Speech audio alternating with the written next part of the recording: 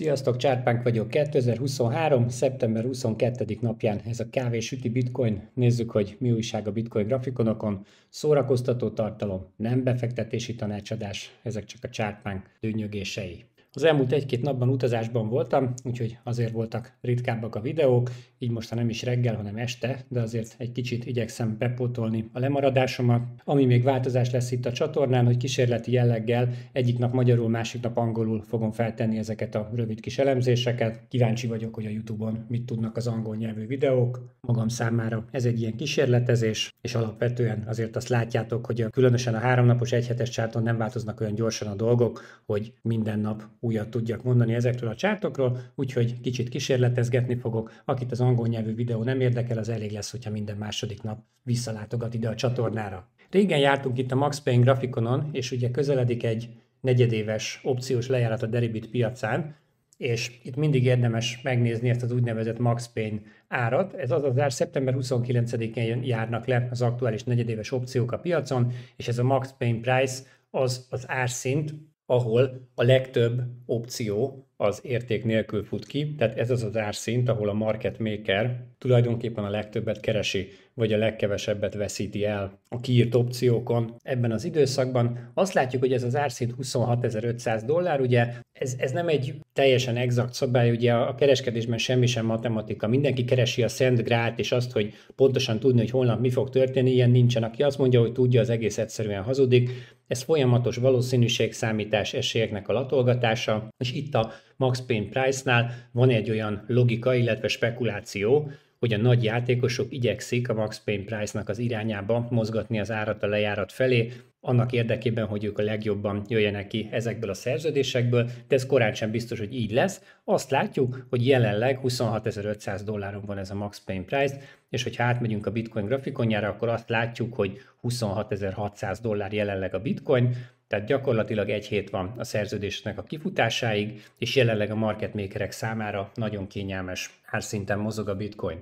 Konszenzió csártok, egyhetes bitcoin grafikon, itt továbbra sincs pozíciónk, TLDR, így néz ki a kis konszenziós tábláskám, hetesen nincs pozíció, háromnaposon nincs pozíció, a naposon meg három, három pozíció méretet tartok fönn a lehetséges háromból, tehát az összes kilenc pozíció méretből jelenleg hármat tartok fönn. Ennek a rövid levezetése pedig a következőképpen néz ki. Itt hetes grafikonon azt látjuk, hogy ez egy short hármas rendszerkezet, ebben a rendszerkezetben nem tartunk fönn pozíciót, legalábbis én nem tartok fenn pozíciót, úgyhogy hetes csárton igazából olyan komoly gondolkodási tényező nincsen. Azt látjuk, hogy a a magas mozgóátlag 27.700 dollár magasságában jár, e fölött kellene járnia a bitcoin árának ahhoz, hogy felfele rángassa a három periódusos mozgóátlagot, és esélyt kapjunk egy pikás keresztezésre. Ugye amikor itt ezt az MA7, MA30 lefele keresztezést néztük a hetes csárton, akkor említettem nektek, hogy ez gyakorlatilag korrelál a napos csárton sokak által figyelt Death Crossnak a szintjével,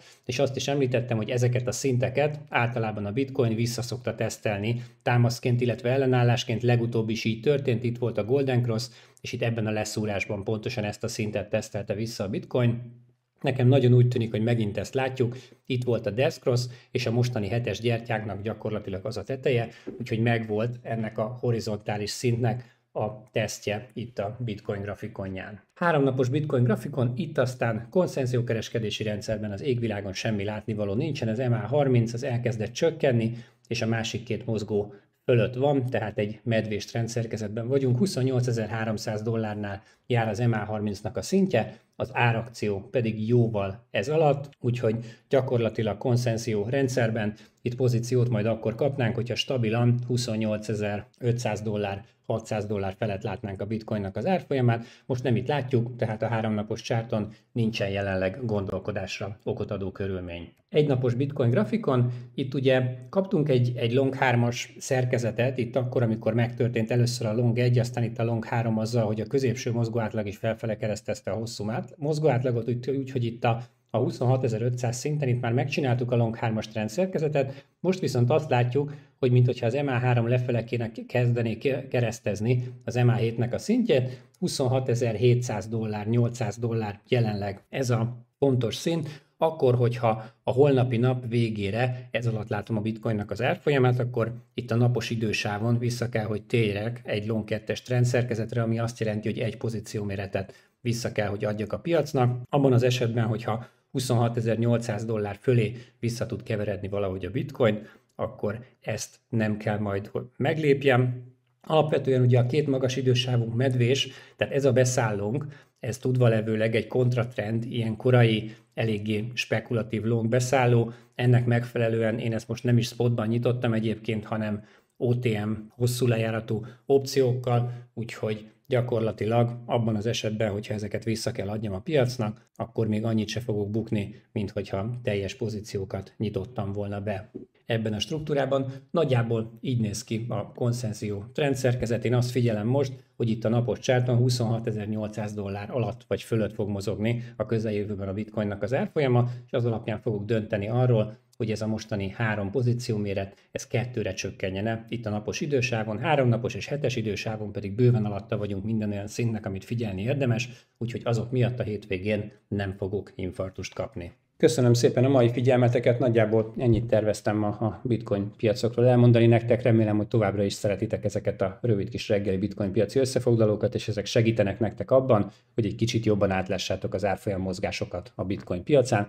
Amennyiben így van, akkor a lájkokat, feliratkozásokat, megosztásokat és kommenteket továbbra is nagyon köszönöm, ezek nektek nem kerülnek semmibe, nekem viszont segítenek abban, hogy a csatornámat egy kicsit relevánsabbnak tartsa a YouTube. Szép napot és jó kereskedést nektek, találkozunk a következő videóban. Sziasztok!